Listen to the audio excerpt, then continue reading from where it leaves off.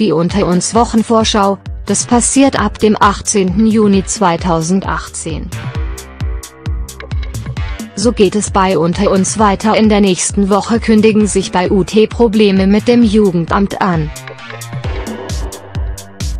Bambi glaubt, seine illegalen Geschäfte vor Sina vertuschen zu können.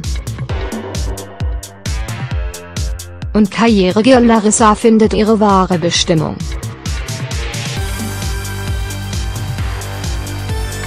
Was es mit diesen Geschichten auf sich hat, verrät Isabel Hertel, spielt UT Kiefer, in unserer Unter uns Wochenvorschau.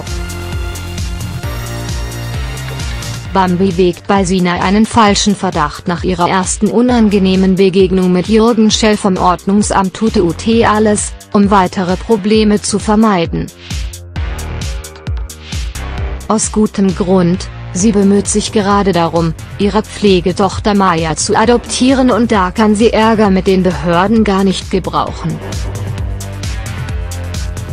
In der nächsten Woche glaubt Bambi aufatmen zu können.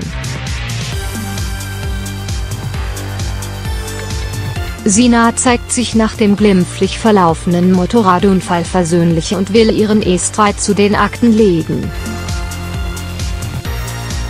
Bambi hofft, bei der Gelegenheit auch sein illegales Motorradtuning unter den Tisch fallen lassen zu können.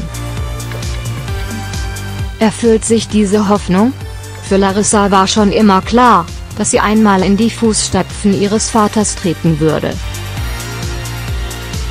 in der Geschäftswelt ganz oben mitzumischen ist genau ihr Ding.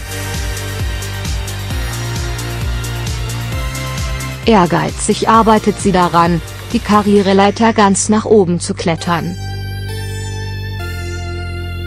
Da offenbart sich ihr unerwartet eine neue berufliche Perspektive, die mit ihrem bisherigen Job nicht das geringste zu tun hat.